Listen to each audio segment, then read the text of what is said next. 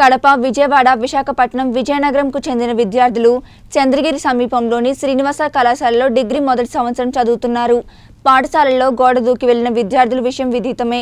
విద్యార్థుల ఆచూకీ కోసం ఇప్పటికే నాలుగు ప్రత్యేక బృందాలను పాఠశాల యాజమాన్యం ఆయా జిల్లాలకు పంపారు. చంద్రగిరికి తొండవరకు మధ్యలో ఉండే సాంప్రదాయ పాఠశాలలో నుండి రాత్రి సుమారు పది గంటల ప్రాంతంలో నలుగురు అమ్మాయిలు వి ప్రశాంతి కడప అమ్మాయి వి శ్రవంతి విశాఖపట్నం అమ్మాయి ఏ శ్రీవల్లి విజయనగరం విద్యాలక్ష్మి వర్షిణి వచ్చేసి విజయవాడ. ఈ నలుగురు అమ్మాయిలు ఫస్ట్ ఇయర్ డిగ్రీ కోర్స్ చేస్తున్నారు ఇక్కడ శ్రీనివాస కాలేజ్ చంద్రగిరిలో.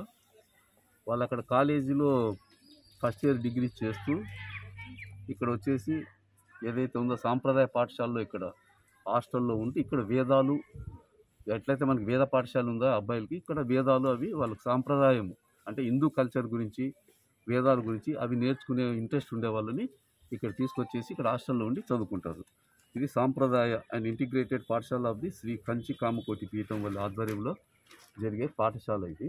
దీంట్లో ఉంటున్నారు వాళ్ళు. రాత్రి అమ్మాయిలు నలుగురు ఇక్కడి నుంచి వెళ్ళిపోయారు.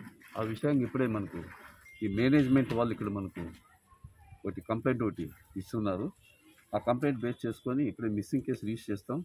మళ్ళీ దా ఇన్వెస్టిగేషన్ టైంలో మనకి ఏదన్నా ఉంటే దాన్ని బేస్ చేసుకొని ఒకవేళ వాళ్ళు విల్లింగ్గా వెళ్ళిపోయారా లేకపోతే ఎవరైనా తీసుకెళ్ళారా అనేది చూస్తాం. అందులో ఇద్దరు అమ్మాయిలు మేజరు ఇద్దరు అమ్మాయిలు మైనర్లు అంటే మైనర్ అంటే పదిహేడు సంవత్సరాలు ఆల్మోస్ట్ వాళ్ళు పద్దెనిమిది దగ్గర ఉన్నారు మిగతా ఇద్దరు కూడా. సో వాళ్ళు ఎక్కడ పోయినారని చెప్పేసి కొద్ది సీసీ కెమెరాలో చూస్తున్నాము.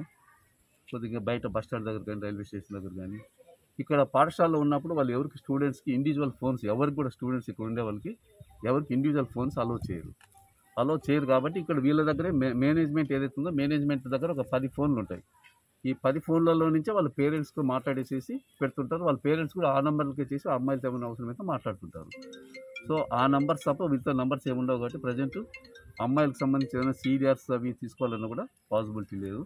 వాళ్ళకు ఉండే ఫ్రెండ్షిప్ కానీ వాళ్ళ బంధువులు కానీ ఆ నంబర్స్ అన్ని తీసుకొని వాళ్ళ సీనియర్స్ కానీ ఇతర మా సీసీ కెమెరా మార్గాల ద్వారా కానీ వాళ్ళ క్లాస్మేట్స్ని అడిగి ఏదైనా పరిచయాలు కానీ ఏమైనా ఉన్నాయి? లవ్ అఫేర్స్ ఏమున్నాయి ఇవి అన్ని యాంగిల్స్లో ఒకసారి సమాచారం సేకరించి వాళ్ళతో కాంటాక్ట్ చేసేసి వీళ్ళని తొందరగా నలుగురిని ట్రేస్ అవుట్ చేసే ప్రయత్నం చేస్తారు సార్ పేరెంట్స్కి ఇన్ఫార్మ్ చేశారు సార్? ఒక పేరెంట్ కూడా ఉన్నాడు.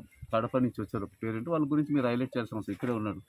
ప్రణతి వాళ్ళ ఫాదర్ వచ్చేసారు ఆల్రెడీ శ్రీవల్లి వాళ్ళ పేరెంట్ ఆమె వస్తుంది కాలేజ్ దగ్గర ట్రైన్లో వస్తుంది. రాత్రే ఎప్పుడైతే తప్పిపోయినారో వాళ్ళు ఇమీడియట్గా ఇనిషియల్ ఇన్ఫర్మేషన్ రాత్రి పోలీసులు కూడా ఇచ్చారు. నేను కూడా నైట్ రౌండ్స్ ఇన్ఛార్జ్ నాకు కూడా చెప్పారు. ఇప్పుడు రికార్డెడ్గా కంప్లైంట్ ఇచ్చారు అంటే ఫస్ట్ ఇన్ఫర్మేషన్ ఇచ్చారు. ఇట్లా మా అమ్మాయిలు నలుగురు గోడ దూకి కాంపౌండ్ వాళ్ళు దూకి